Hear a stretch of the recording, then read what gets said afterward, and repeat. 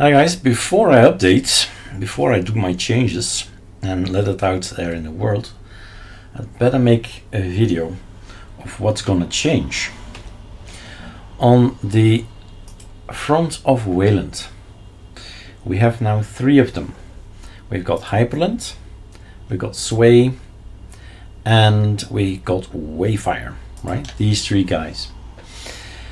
Now, since, well, the what if that I had was six months ago, where I wanted to have Hyprland next to Sway, next to Wayfire. Wouldn't it, couldn't it be possible? X11 and Wayland, we need to separate those two. But what if I want to make an ISO, ArcoLinux B Wayland, present, right? Present and accounted for. But then these three, and maybe later on UWM or River, there are other uh, tiling window manager or just window managers in Wayland that we could add. So an ArcoLinux Wayland ISO that includes these guys. Now, as you know, I'm not a Wayland specialist, I'm a user and learn as I go. The information that I got prior is coming from Ubuntu, the way they launch their Sway, right? But it declares variables, and it's because of these variables that we can't switch. It's either ArcoLinux B Sway, ArcoLinux B Hyprland, or ArcoLinux B Wayfire. But I want to have them together, all three of them, if possible.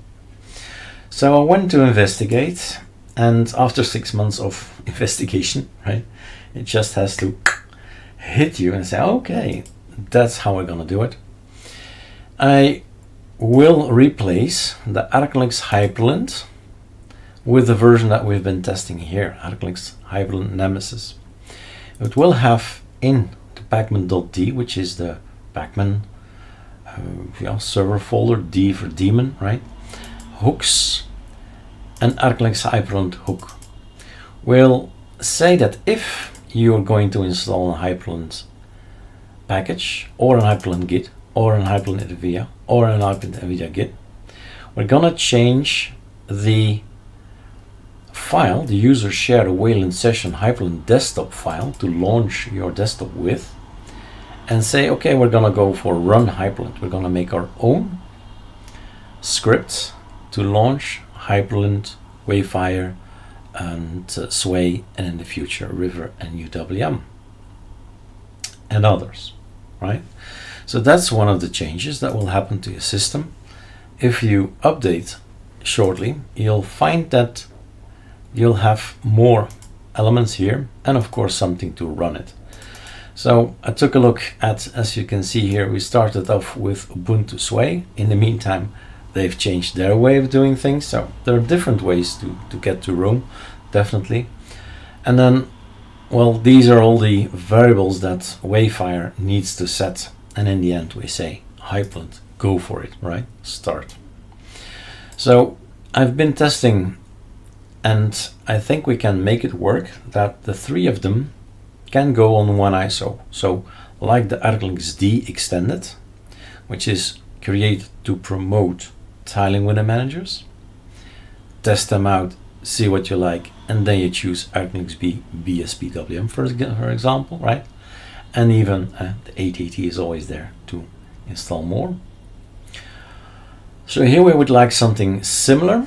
We'd like to have three, at least at this point in time, three Wayland desktops and they all have that so I've been testing on the Nemesis folder. You can do the test right now if you don't mind breaking your system, but I don't think it will break since I've been testing it all the time now.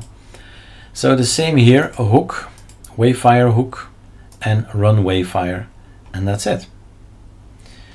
And the same for Sway, it's also this one. So we can test with the Nemesis and then do our thing with the other one.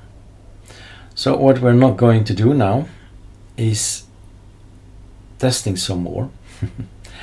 and then at some point in time, we're gonna make the switch this code will go inside ArcoLinux Sway.